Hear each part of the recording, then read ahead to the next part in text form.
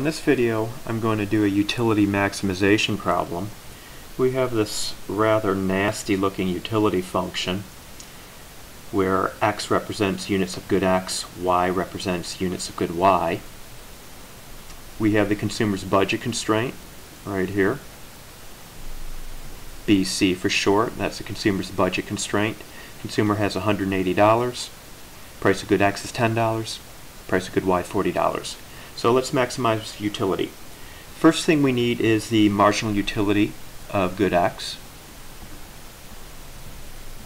We are going to take the partial derivative of the utility function with respect to good X and we're going to get this result.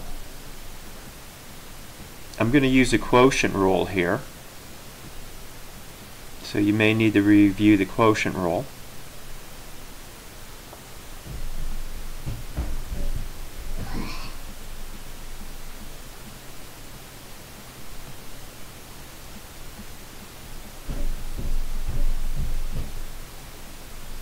Okay, this will just simplify down to y squared in the numerator divided by x plus y squared in the denominator. Now let's get the marginal utility of good y.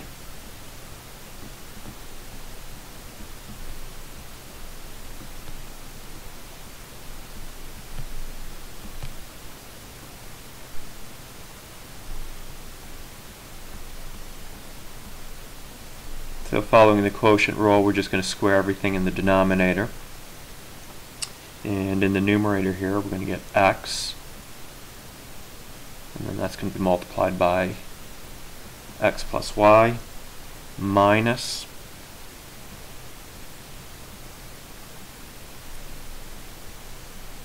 xy times 1. This will simplify down to x squared divided by x plus y squared.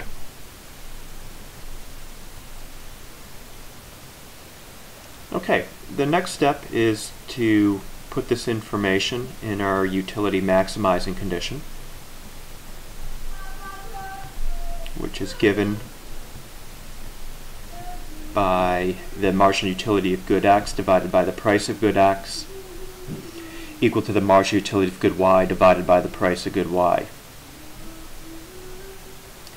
So making our substitutions now, the marginal utility of good x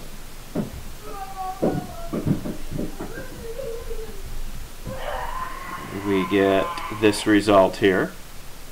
That's all going to be divided by the price of good x, which is 10. We're going to set this equal to the marginal utility of good y.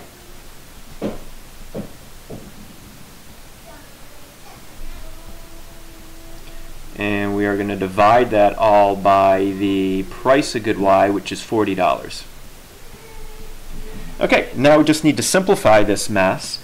Um, first thing to do is, well, if we multiply everything through by 40, 40 here and a 40 over here, uh, we're going to be left with 4y squared over x plus y squared equals x squared over x plus y squared.